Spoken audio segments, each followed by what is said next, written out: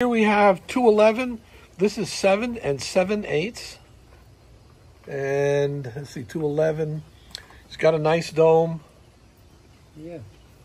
And he is perfect. And again, he has a little bit of that, that fastback where he kind of tapers off there in the back like Cecil. And we just do this for identification purposes. It's like a fingerprint to them. Give them a little walk around. No, you guys got to start going the other way. That's 211. Actually, it's the 1200 group, so 1211. That's the way they'll be listed in the shopping cart. And again, just to mention, we don't normally keep this many in this pen.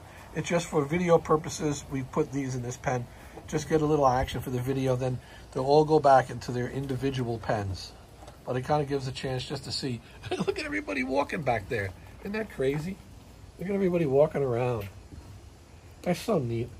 I love when a new group comes in and you see all these great, great animals. Peekaboo, how are you?